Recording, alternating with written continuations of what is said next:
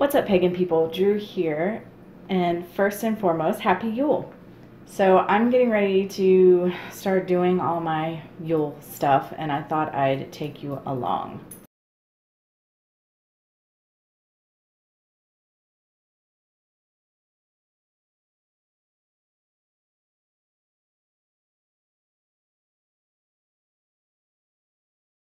So a lot of my Sabbat traditions revolve around birds. I have a thing for birds. I don't know if I have enough peanut butter to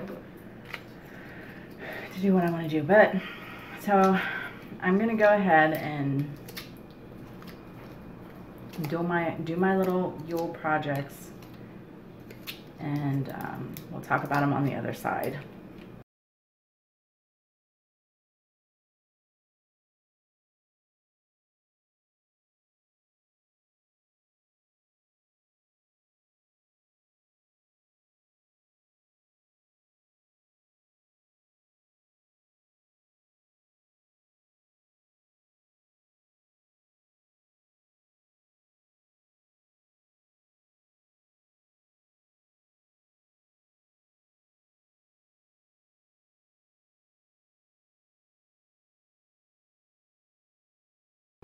Well, obviously I'm coating these pine cones in peanut butter. I normally buy a cheap little container and I'll use it for a couple of years um, because I, I keep dipping my my knife back in it. I don't want it, anybody to use it for their sandwiches or anything. So um, this one was nearly empty and this is my the one I've been using for I don't even know how many years it's taken me to get through it. Um, and yeah, it may go stale, but it's for the birds. They don't really care. So once I have them coated in peanut butter, I just roll them in birdseed. Or I'm just to throw it on top.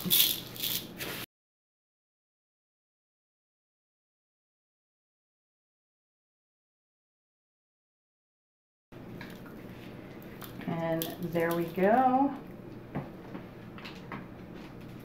Those are ready for their next step. But before I get to that, I want to move on to my next birdseed project, and that's my birdseed wreath. Now, so for this, one packet of gelatin needs a fourth a cup of boiling water and three-fourths cups of birdseed.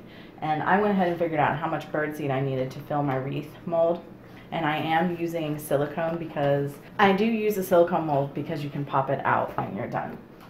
So I'm going to need six cups of birdseed. So I need eight packs of gelatin and two cups of hot water. By the way, I apologize for my messy table. I am in the middle of preparing for festivities, making peppermint bark and blueberry bread and pumpkin bread and there's just so much going on. It's not even funny. Okay, so I've got my hot water. I just got two cups of hot water from my Keurig. And I'm to add my gelatin. And then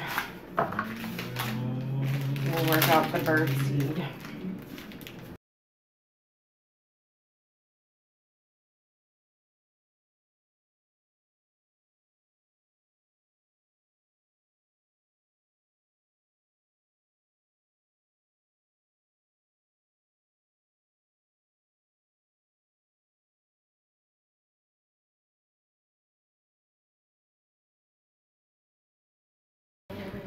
So I've got my six cups of seed and I'm going to pour in my two cups of gelatin water now. Some of my gelatin gooped at the bottom.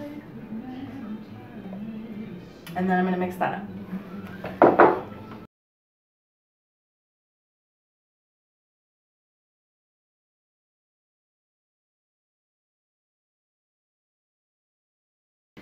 So now I've got it all thoroughly coated with gelatin. I'm going to put it in my mold.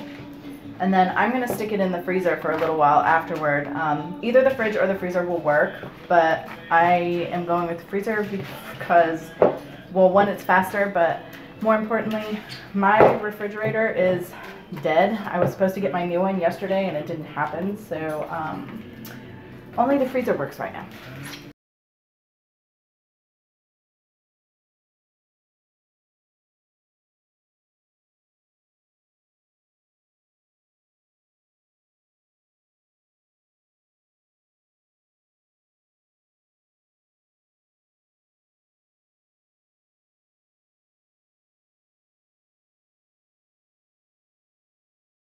Okay, so everything is finished. I would say it took, it probably only took 30 to 40 minutes for this. I don't know, I didn't check. Me and my daughter were making pumpkin bread and blueberry bread. Um, but so I've tied ribbons to my little pine cones, um, which I will be tying onto my cherry blossom tree outside. And here is my birdseed wreath. Now, if my tree were bigger, I would be hanging this in the tree, but my tree is still a baby. Even though she's several years old, she can't support the weight of this. So I'm just gonna set it near the tree. But here it is, my birdseed wreath that I'm gonna go put outside for the birdies. Okay, I've hung my two little pine cones and propped my wreath up. I genuinely hope that all of you have a very blessed and beautiful Yule. As always, thanks for watching, and until next time, much love and gratitude.